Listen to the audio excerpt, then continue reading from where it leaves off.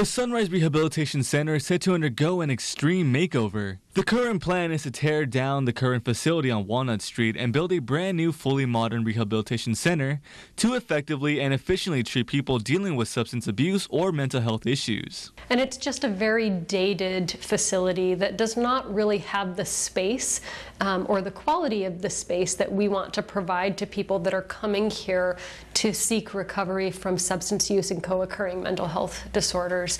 While talking to Madeline, she details one of the struggles they face.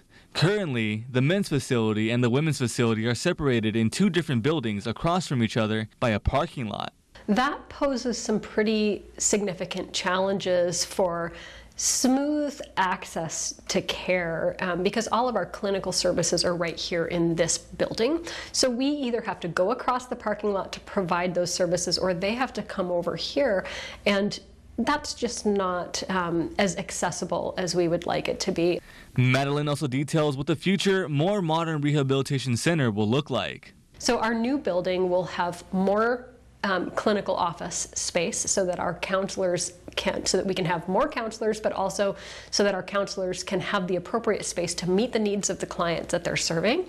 We will also have, um, of course, ADA compliant treatment rooms so that individuals with any kind of physical limitations can also appropriately access our treatment services here.